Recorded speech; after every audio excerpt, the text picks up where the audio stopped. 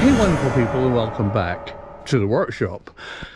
I kind of think that if we understand the world in the form of a steam engine, we can understand some of the bigger mysteries by making analogies, by actually seeing how things work and understanding the nuts and bolts of advanced physics.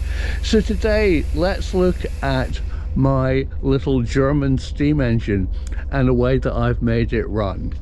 So in the workshop here, we have a way of turning it all on. Yay! so what I've done is I've taken a very low cost wallpaper stripper as a boiler because boilers are expensive and I've taken a rather wet but high volume steam output to this little German steam engine. And uh, just for I think under 10 pounds for a wallpaper stripper suddenly we have a a boiler which works in a very wet way and at low pressure.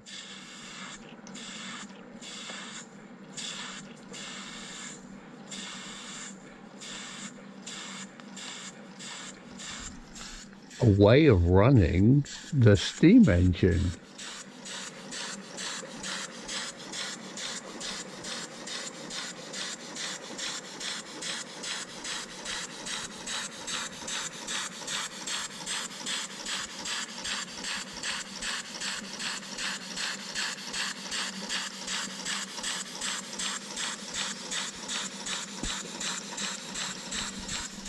This engine is a double acting steam engine with a power stroke going down. Here we go. Boof. And a power stroke going up. Ooh. Bit weak. A slide valve in the valve chest and a cylinder and piston of about, I don't know, um, three, four centimeters in diameter.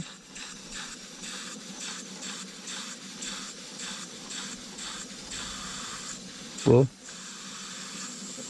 Whoa. Yeah, it seems to be only working in a single action. I'll work on that.